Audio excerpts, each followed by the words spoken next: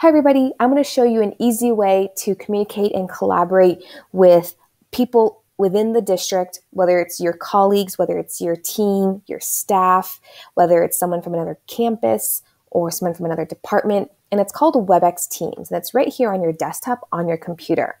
So if you click on WebEx, you can actually not only chat with other people, you can also still make video chats. You can actually phone someone in and you can call right through your computer. You can also do this on your phone if you have a smartphone, if you download the app.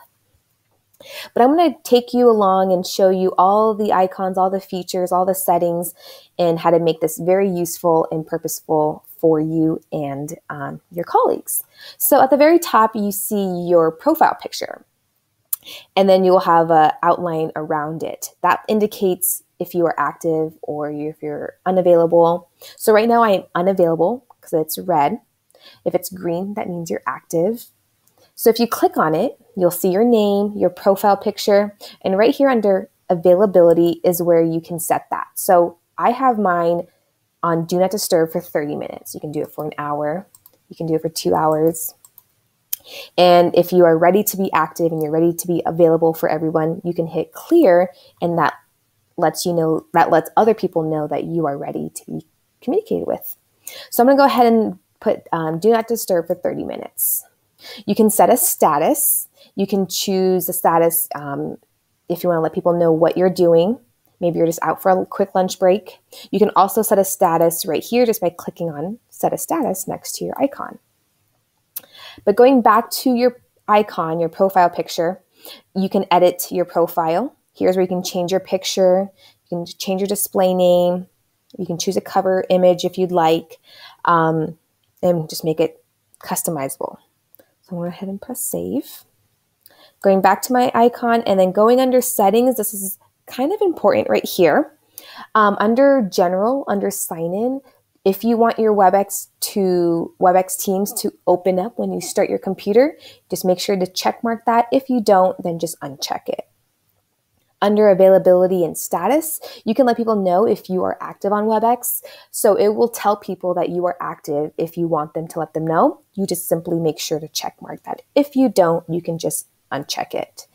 Your landing screen is what you see first every time you open WebEx. So this is just preference. If you want to see your messages first, just make sure to hit messaging. If you want to see your contacts first. So this is when you open up WebEx and what do you want to see first. So again, this is all preference on what you want to see.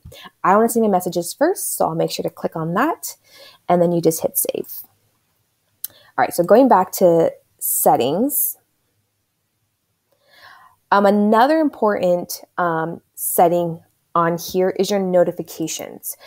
Um, when you are communicating with people, you will get notified. So you'll get a little notification up here that pops up and it will tell you, you know, who it's from and a, and a little preview of what that conversation is about.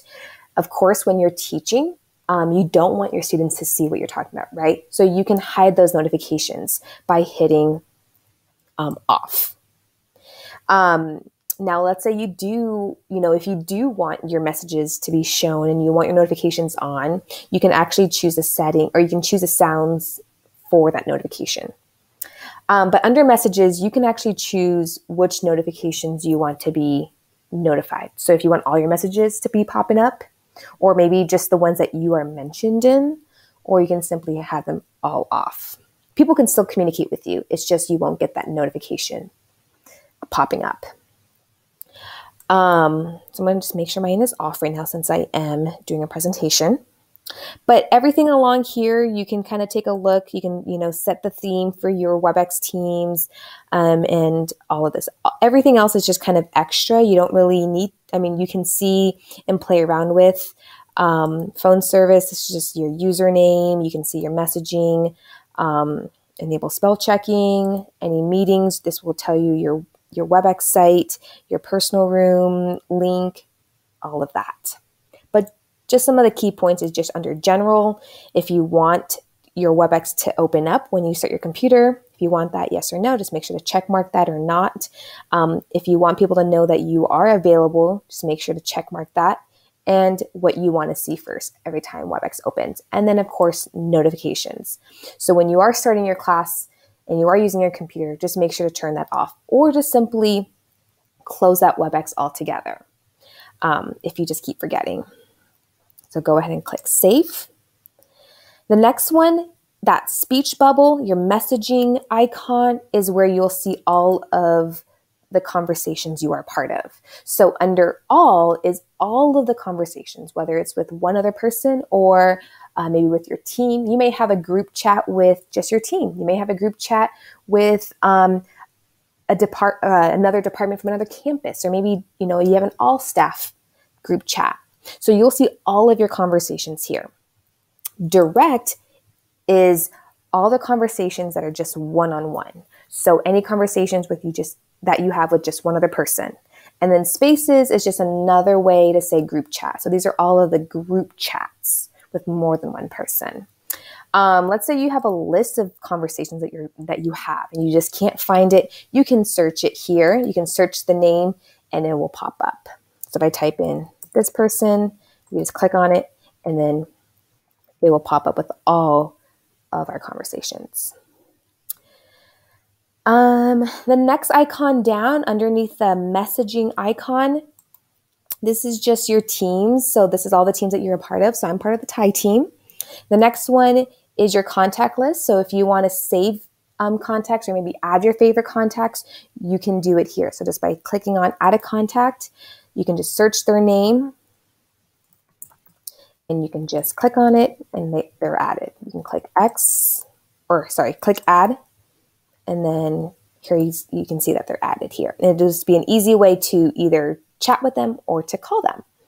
You can create a group. So let's say this is my third grade team. You hit create and you can go ahead and just right click and then you can move to a group. So maybe your third grade team, move her to your third grade team. There you go. Um, under the phone icon, this is where you can actually phone call people within the district. So if you know their extension line, you can just simply dial their number here. You can use the keypad, you can use um, your keyboard as well. Um, you can also search their name and just hit the call button. If you hover your mouse over the phone icon, you can actually see what their number is as well. You just click it and you can talk through your computer. Next one is your voicemails. You can see all the ones that you have not um, read or listened to. You have your calendar. This is where you can actually start a meeting. You can join a meeting. So if you know the person's name, you can type their name and just hit join. You can schedule a meeting, and this will all, this will also be where all your um, meetings are, all of your calendar. So now you kind of know some of the icons on the left side. I'm going to show you how to start a conversation. So if you hit that plus sign, you can send a direct message to someone. So that means you're just sending a message to one person. So I'm going to type in, here you go. There you go.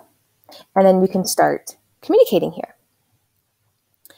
um, if you want to create a space. So creating a space just means you're creating a group chat. So you can give it a name. So I'm going to say staff, and I can start adding everybody here.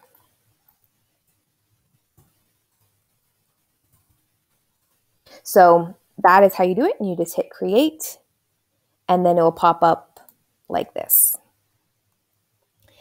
Um, another thing with the plus sign, you can make a phone call here. You can also add a contact, and then you can schedule a meeting here as well. So I'm gonna go ahead and just hit cancel on all of this. So some of the uses again for WebEx Teams is, you know, just easy communication, makes it easy to collaborate. You can, again, you can send files, you can send gifts, you can make a phone call. If you're an admin or someone that needs to do an emergency meeting after school, this is a great way to do it. Again, you can have this app on your phone uh, to make it easy if you're on the go. If you have any questions about WebEx Teams, how to set it up, please contact your TIE for more information. I hope this video helps. Again, reach out to your TIE for additional questions, concerns, and comments about this, and have a great school year.